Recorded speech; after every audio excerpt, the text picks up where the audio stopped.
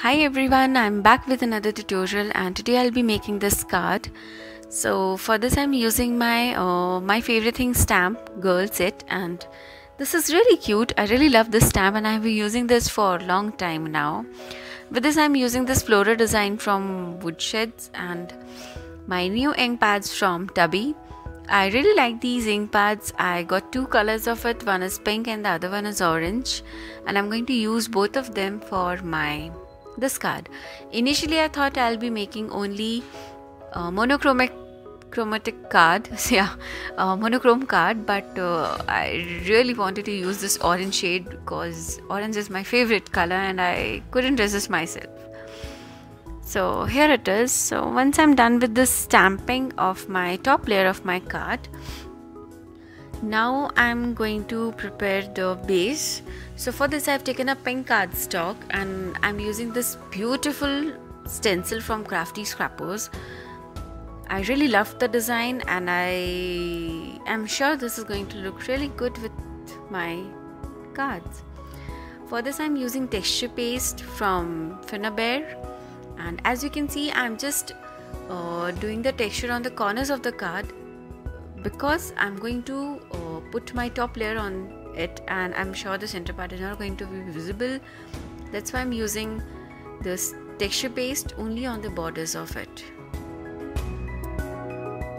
I have let my texture paste to dry and now I am distressing my edges of the top layer card again with the pink shade of the tubby uh, ink pads once I'm done with the shading, I wanted to color my pretty girl in orange shade and again, again, again, I'm using um, orange shade from the same brand and this one is really looking nice.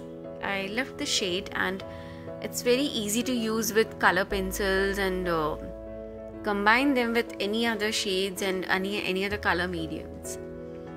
I'm just finishing off with my water brush to finish the look of my pretty lady and it's looking nice.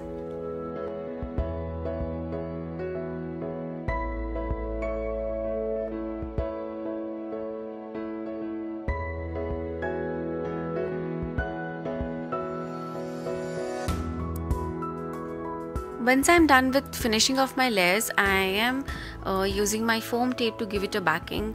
As you can see I've already given one backing to my uh, top layer of the card just to give it a little more depth. And below that again I'm using my 3D foam tape for backing.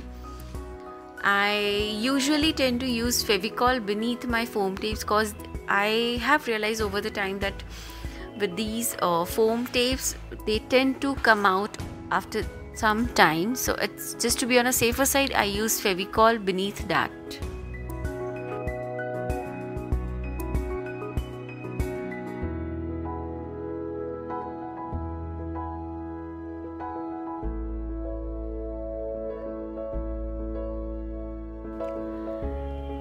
After finishing the layering of my card, now it's time to add a sentiment to it and I'm using another again the happy birthday sentiment from the same stamp set.